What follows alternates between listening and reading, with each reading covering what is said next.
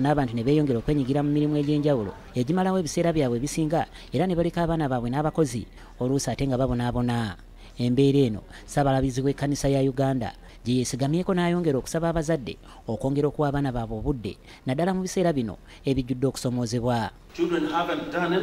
wrong. It's their parents who have chosen their own selfish interests and neglected their children.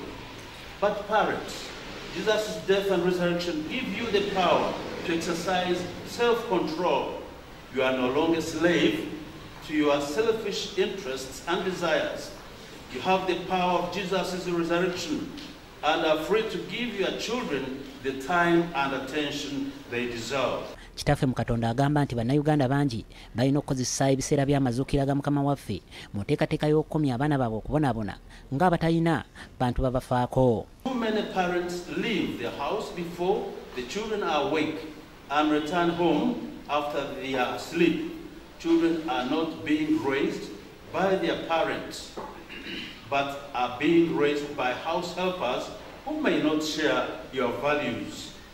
Children get concerned and think they are the ones who have caused their parents to neglect them.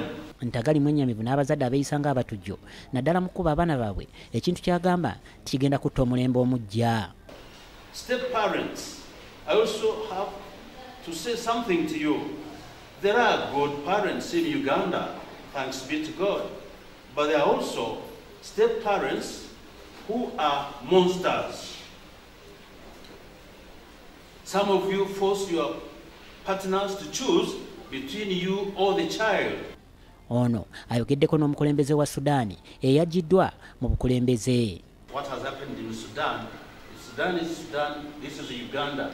I want to appeal to every Ugandan to work hard, whether a politician, civil servant, common citizen, all of us need to pray that Uganda will remain a united country, a loving country where we can enjoy uh, peace and harmony and good neighborness. So let us continue to focus positively on the good future of our country.